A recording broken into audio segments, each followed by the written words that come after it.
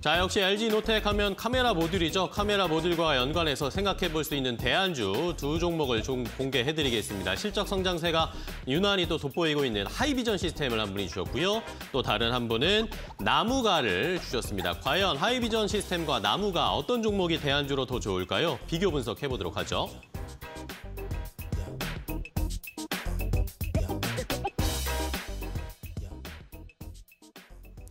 자, 두 분이 주신 대안주 바로 확인을 해보겠습니다. 일단은 김민수 대표님은 하이비전 시스템을 주셨습니다.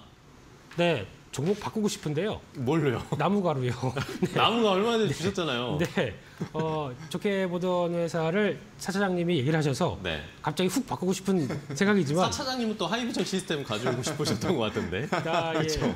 원래 좋은 기업에 대한 평가는 그렇습니다. 맞아요. 네, 알겠습니다. 네, 그래서 하던 거 하게 되면요. 어, 하이비전 시스템은 일단 지금 잘 아시는 것처럼 이제 LG노텍과 동행한다라고 보시면 될 것 같고요. 네. 어, 초소형 카메라 모듈 관련된 쪽에서 검사 자동화 장비 이쪽에 강점이 있고요. 그 밖에 뭐 영상 평가 저장 장치나 3D 프린터도 하고 있는데 어, 중요한 게 자회사가 꽤 괜찮습니다. 이 퓨런티어라고 회사가 상장이 됐죠. 어제 보니까 주가가 많이 올랐는데 어. 예, 지분 41% 갖고 있고 또 관련된 자동화 장비를 어, 생산하는 회사고 네. 더 눈길이 가는 게 이 큐비콘이라는 회사입니다. 큐비콘이요. 네, 한 41% 지분 갖고 있는데 모션 제어 신호 처리 기술을 갖고 있다라고 하게 되면 아마 나중에 자율주행 관련된 쪽에서 큰 몫을 하지 않을까 오. 하는 쪽에서 이쪽의 IPO도 한번 눈여겨봐야 될 것 같고요. 네. 어, 그런 쪽에서 가장 눈길이 가는 거는 이 TOF라고 하는 Time of Flight죠. 이쪽에 대해서 어, 기반된 3D 센싱 관련된 모듈이 앞으로 어, 대세가 될 것 같은데 여기서 나오는 게 나무가죠.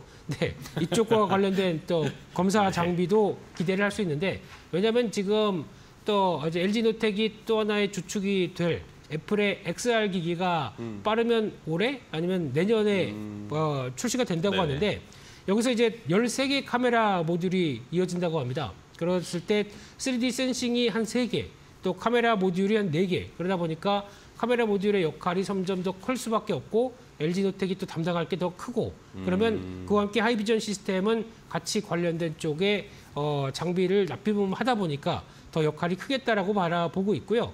그와 함께 또 어, 신규 사업 쪽에서도 성과가 나올 걸로 기대하고 있는데 2차 전지 패키징 검사 장비 쪽을 강화시키는데 이 세방전지가 요즘에 이쪽에 대해서 2차 전지 쪽에 강화하려고 어, 상당히 사업부를 좀 더 확대시키고 있죠. 네. 이쪽과 협업하면서 성과를 낸다라고 하게 되면 기대감이 높을 것 같고요.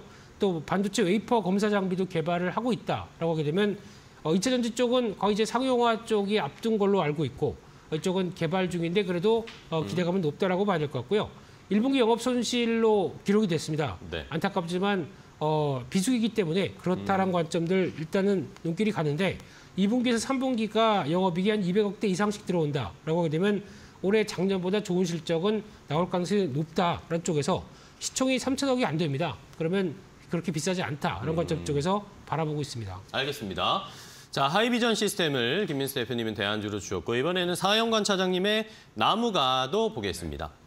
어, 네. 지금 설명을 해주셨는데 나무가 설명을 해주시는 줄 알았어요. 굉장히 좀 비슷한 영역이기 네. 때문에 좀 그런 효과가 일어난 것 같고요. 네. 일단 뭐 나무가 간단하게 말씀드리면은 거의 매출 비중의 99%가 어, 이제 카메라 모듈에서 나오고 있습니다. 네. 스마트폰이라던가 태블릿 그리고 PC 이런 쪽들로 적용이 좀 되는 부분들이고요. 어, 이게 아까 말씀해주신 그 3D 토프 카메라라고 하는데 그쪽 네. 모듈이 이제 좀 미래 신사업 쪽으로 먹을거리로 발굴을 하고 있는 그런 과정에 있습니다. 삼성전자에 대부분 이제 매출이 들어가고 있는 그런 상황이고요. 이 3D 스캔 기능 중심으로 해서 중요한 게 뭐냐? 자율주행이라던가 이런 부분들이 향후에 적용이 될 수 있는 그런 부분이 되겠고요. 또 디스플레이 기반으로 해서 IT 기업들의 자동차라던가 로봇, 드론 이런 쪽들 기업에 공급을 할 수 있는 그런 레퍼런스를 또 가지고 있습니다. 네. 아까 말씀해 주신 그 지금 오큘러스 어, 퀘스트 2가 나와 있는 상황인데 애플 쪽에서도 지금 신제품 MR이라고 해요. 이게 혼합 현실이라고 하는데 VR과 AR을 섞어 놓은 그런 기기를 출시를 할 것이다라는 소문이 시장에 파다하게 좀 퍼지고 있는 상황이고요. 네. 애플이 항상 신제품 내놓기 전에 이사회에서 먼저 제품을 선보이거든요. 그런 과정도 이미 좀 겪은 것 같습니다. 어. 그래서 이게 출시가 정말 코앞으로 다가왔다라고 예상들을 많이 하고 있는 그런 상황인 거고요. 그래서 이, 이런 것들을 하는 데 있어서 이 3D 기, 피- 기술은 좀 필수적으로 필요하거든요. 나무가가 이 3D 기술을 세계 최초로 좀 개발을 한 이력을 가지고 있기 때문에 분명히 부각을 받을 수가 있는 부분이 있다라고 생각이 되는 거고요. 이 실적이 작년 1분기부터 굉장히 surprise하게 실적이 turnaround 하고 있어요. 오, 네. 그러면서 연간으로 21년도에 영업이익 230억을 달성을 했고요. 올해 1분기 영업이익 정말로 surprise합니다. 작년 연간 영업이익의 반을 1분기 만에 달성을 오, 했어요. 네. 네, 119억이 나와버렸고요. 전년 동기 대비해서도 52%가 증가한 수치입니다. 통상적으로 카메라 모듈의 2분기가 지금 비수기로 어, 알려져 있어요. 그런 부분들임에도 불구하고 워낙에 surprise한 실적들을 이어나갈 수 있다라는 기대감이 있는 만큼 연간으로는 굉장히 좋은 실적을 또 보여줄 것이라고 네. 기대를 하고 있고요. 어, 마찬가지입니다. 스마트폰 카메라 모듈의 제품 믹스가 굉장히 개선되어가는 모습들이 확인이 되고 있는 그런 상황이고요. 전면 카메라가 사실상 메인이었어요. 그런데 이런 부분들이 아까 말씀드렸던 대로 후면 카메라까지 삼성전자 쪽으로 진입을 하면서 신규 공급 음, 평균 판매 단가가 상승하는 효과를 누릴 수 있는 그런 상황인 것 같습니다. 그래서 아까 말씀드린 LG 이노텍이 현시총 대비했을 때 올해 예상 순이익으로 보면 PER이 8.7배 정도 나와요. 그래서 사실상 대안주를 찾기가 힘들어요.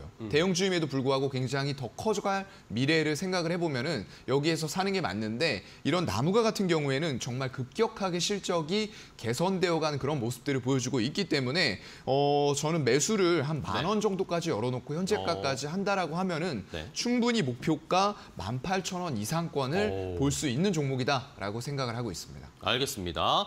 나무가에 대한 가격 전략까지 주셨습니다. 매수가는 뭐 만 원에서 현재가 사이에서 제시를 해주셨고요. 목표가는 18,500원까지 제시를 해주셨습니다. 18,500원 김미수 대표님의 이 목표가는 어떻게 보십니까?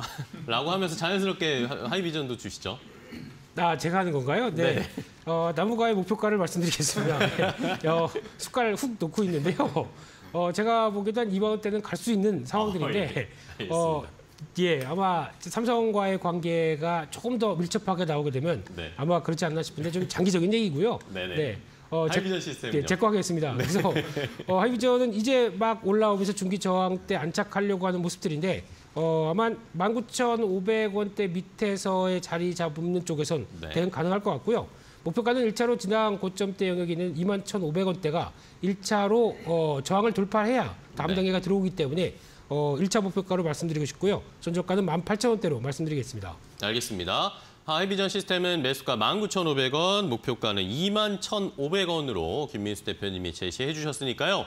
자, 뭐 카메라 모듈 쪽에 요즘 부각을 받고 있습니다. LG 이노텍과 하이비전 시스템, 그리고 나무가까지 오늘 시장에서 여러분들 한번 잘 살펴보시기 바랍니다. 자, 오늘 기대해도 괜찮아 여기까지 하도록 하겠습니다. 오늘 두 분 또 좋은 종목 소개해 주셔서 감사하고요. 다음 시간에 또 좋은 종목과 재밌는 이야기 가지고 함께 찾아와 주시기 바랍니다. 고생 많으셨습니다. 수고하셨습니다. 고맙습니다.